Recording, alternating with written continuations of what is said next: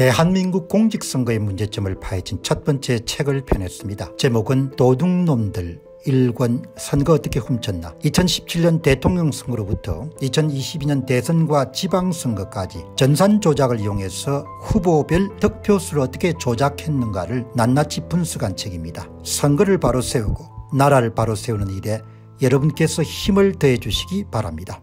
김정은이 한 이야기부터 먼저 다뤄보도록 하겠습니다.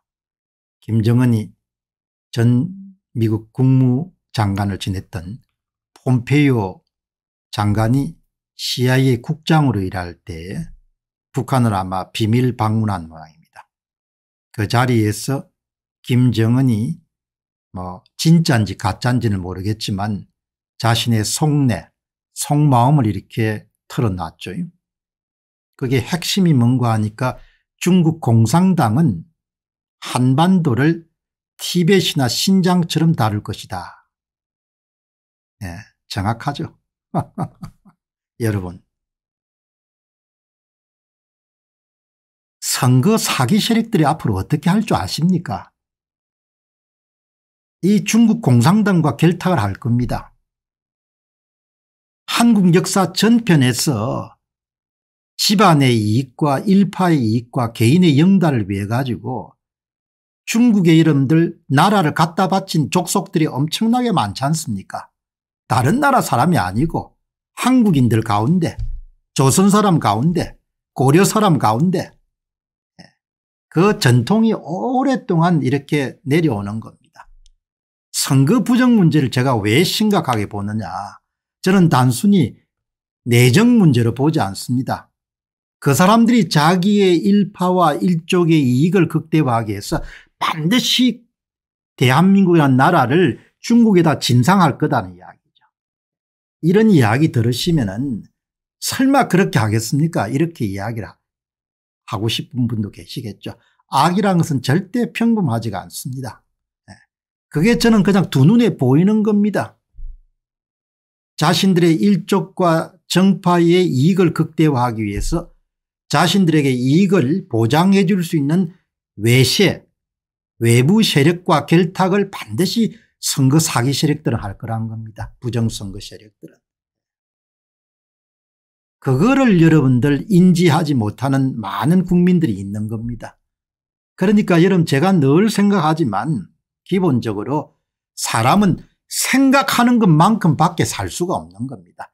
생각이 협소하고 생각이 좁으면 은그 좁은 생각의 틀에 갇혀 살 수밖에 없는 거죠. 선거 부정 문제는 내정 문제가 아닙니다. 예, 저는 폼페이오 장관의 자서전을 내용이 일부가 공개가 됐기 때문에 그 자서전에 나오는 김정은의 속내에 대한 부분을 읽으면서 아 뭐 내가 생각했던 거하고 비슷하네.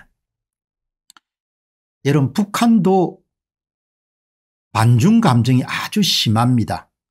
예. 북한에서 내려오신 분들하고 만나서 대화를 해보게 되면은 뭐 우리 역사는 전편에 여러분 흐르는 것이 중국으로부터의 억압과 약탈과 침략이었지 않습니까 그러니까 어떻게 보면은 후천적으로 한국인들의 피 속에는 반중 감정이 아주 진한 거죠. 그거는 뭐 피의식이 워낙 많았기 때문에. 그거를 북한 사람들도 아주 심각하게 보통 사람들도 그렇게 예, 생각하고 있는 거죠. 그거를 이제 김정은이가 이야기를 한 겁니다. 폼페이오 전 국무장관 당시에 CIA 국장에게 중국으로부터 자신을 지키려면 주한 미군이 필요하다고 말했다. 김정은이 왈 중국 공산당은 한반도를 티베트처럼 다루려고 한다고 했다. 이런 회고록을 이야기한 거죠. 저는 이것이 거짓이 아니고 김정은이 갖고 있는 위기의식일 거다 이렇게 봅니다. 그거는 뭐 아버지한테 많이 들었을 것이고 할아버지한테도 들었겠죠. 예, 그러니까 김, 기본적으로 김일성이나 김정일이나 다 마찬가지로 뭐 필요하기 때문에 중국과 친선 외교를 하지만 기본적으로 중국이 자신들을 복속시킬 것이라는 그런 불안감이나 두려움을 항상 갖고 있었던 것이죠. 김정은은 북한 국무위원장이 2018년 3월 극빌리의 평양을 방문한 마이코 폼페이오 당시 미국 국무장관에게 폼페이오는 2018년 미국 중앙정보국 국장 자격으로 평양을 방문해서 김정은을 만났을 때 중국 공산당은 줄곧 주한미군이 한국을 떠나면 김정은 위원장이 매우 행복해 할 것이다 라고 했다고 해고했다. 그러자 이 말에 대해서 이 말에 김정은이 웃더니 중국인들은 거짓말쟁이들이라고 외치며 신나게 테이블을 탕 하고 내리쳤다. 김정은은 중국 공산당으로부터 자신을 보호하기 위해 한국 내에 미국인들이 필요하며 중국 공산당은 한반도를 티벳이나 신장처럼 다루기 위해 미국의 철수를 필요로 한다고 말했다. 김정은이 그만큼 중국의 위협을 심각하게 인식하고 있다는 뜻이다. 폼페이오 전 장관은 뭐 한국과 중국 역사를 대충은 알겠지만 내밀하게는 알 수가 없겠죠. 그리고 폼페이오 전 국무장관도 뭐 탈북해서 내려온 사람들의 이야기를 직접 들은 바가 많지 않기 때문에 소위 북한 내부에 있는 반중 정서를 정확하게 우리처럼 모를 거라고 저는. 탈북해서 내려오신 분들 만나면은 반중 감정에 대한 이야기를 생생하게 이야기를 하지 않습니까 김정은은 중국으로부터의 보호를 필요로 했다. 이것이 그에게 얼마나 중요한지 나는 과소평가했다. 한반도에서 미국의 미사일이나 지상 전력이 증가된 것을 증강되는 것을 북한인들은 전혀 싫어하지 않는다. 예. 여러분 한국인들은 뭐 남한이나 북한이나 관계없이 중국에 의한 한반도의 점령 혹은 복속이라는 부분을 항상 염두에 두어야 됩니다. 예. 제가 여러분 오늘 이 방송을 진행하면서 예. 저는 대한민국에 지금 일어나고 있는 선거 사기 문제, 부정선거 문제, 전산 조작을 위해서 이용해 가지고 모든 공직선거를 훔친 것을 단순히 특정 정당이 관련된 사악한 행위다. 내정 문제로 바라보지 않습니다. 네. 그 선거 사기 세력들은 궁극적으로 어떻게 행동할 것인가 하니까 자신들의 정파와 일파의 이익을 극대화하기 위해서 반드시 뭡니까 중국의 나라를 갖다 바칠 거라는 이야기죠. 그리고 중국이 원하는 정책 인민정책들을 수행하면서 자신들의 이익을 구할 겁니다. 그러니까 국회를 장악하고 행정부를 장악한 친중 세력들이 중국과 결탁을 해가지고 이익을 보장받는 대신에 중국이 원하는 정책을 수행하게 되면 반드시 그 다음 정책이란 것은 한족을 한반도에 대거 뭡니까 예, 합법적인 수단으로 투입하고 그들이 참정권을 갖도록 그렇게 우호적인 정책을 써도록 만들 겁니다. 그래서 기본적으로 한반도에서 한민족이란 자체가 소멸될 수 있는 가능성이 엄청나게 높은 거죠. 이런 상황인 겁니다. 그러니까 그냥 내정 차원의 문제가 아니고 한국인들에게 죽고 사는 문제입니다. 있는 사람들은 다 나가겠죠. 그때가 되면. 그런 문제인 겁니다. 그래서 예, 제가 말씀드리는 것이 국가에 대해서 제가 나서 자란 국가에 대해서 마지막 봉사다 이런 이야기를 제가 자주 쓰는 겁니다.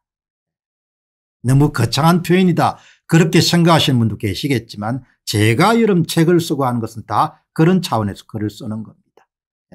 중국에 복속시킵니다.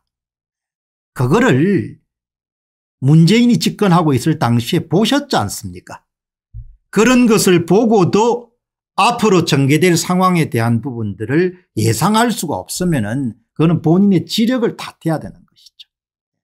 이게 여러분들 이렇게 돌아가는 겁니다. 자식들이 한족에 뭡니까 그냥 복속당해가 살아가는 것이 수천 년 연속될 수 있다는 것을 염두에 두기 때문에 선거 부정 문제를 반드시 정파 이익을 떠나가지고 막고 이번에 고쳐야 된다고 이야기하는 거죠. 어느 놈 한 놈도 여러분 이 이야기에 기담, 기담아 듣는 정치인이 없지 않습니까 역사들은 뭐 그들의 죄상을 분명히 기록을 하겠지만 뭐 그때가 되면 나라가 망해가 없어지겠죠.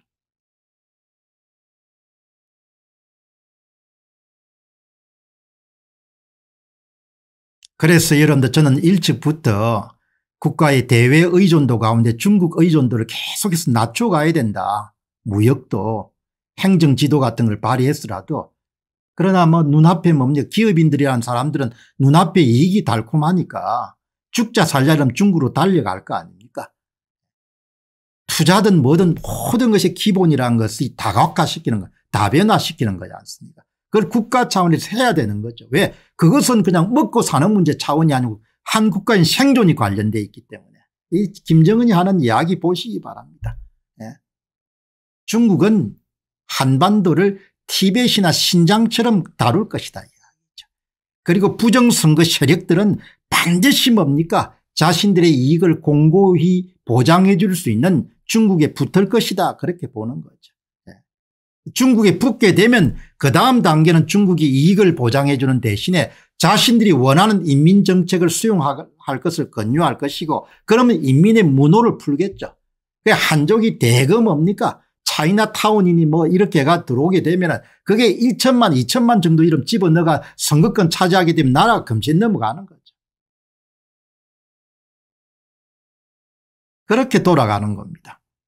제가 이런 도둑놈들의 마지막 글은 예, 그런 소위 앞으로 전개될 시나리오를 그냥 제가 구술하듯이 한번 정리한 책을 과거의 10년 한국처럼 그렇게 쓰려고 합니다. 내가 할 수 있는 국가에 대한 마지막 봉사입니다. 조국에 대해서. 그래서 여러분들 이런 책을 쓰는 겁니다. 지금. 예. 그래서 여러분께서 좀 많이 구매해 주시고 그 다음에 좀 돈을 조금 들여셔 가지고 지역구 국회의원도 함께 보내주고 검찰도 보내주고 경찰도 보내주고 자꾸 보내주면 읽을 거 아닙니까 예. 다들 자식이 있는데 예. 자식들 생각을 해야 될 거 아니에요.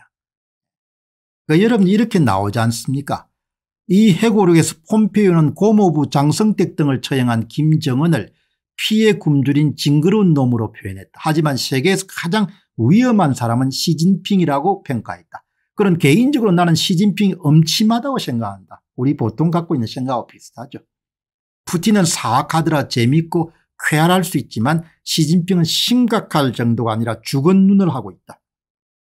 시진핑이 억지로 꾸며내지 않은 미소를 짓는 것은 본 적이 없다.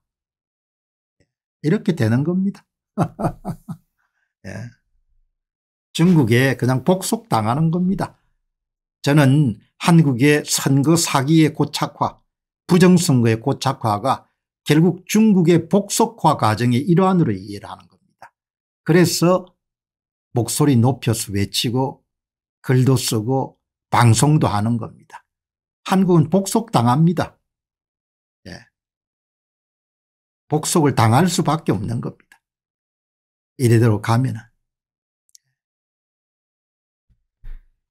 이 문재인이라는 사람이 한 처신 보시기 바랍니다. 문재인 대통령이 이 역사적 만남에 참여하겠다고 요구하는 것이 가장 큰 도전이었다. 예. 김정은 위원장이 트럼프 대통령만 만나는 쪽을 선호한다고 잘 준비된 대답을 했다. 문재인 대통령의 기분은 좋지는 않았지만 김정은 위원장은 문재인 대통령에 내줄 시간도 존경심도 없었기 때문에 우리는 올바른 판단을 한 것이다. 이런 사람이 대통령이 돼가지고 나라를 그냥 뭡니까 부정선거로 대통령이 돼가지고 나라를 완전히 파토를 냈으니까 다 밝혀지지 않습니까 얼마 가지 않아가지고 이렇게 여러분들 돌아가는 겁니다. 예, 정신 못 차리면은 예, 자식들이 다시 중국의 발 아래 짓밟혀 가지고 그렇게 사는 겁니다. 공 박사님 설마 그런 일이 있겠습니까 설마가 사람 잡죠.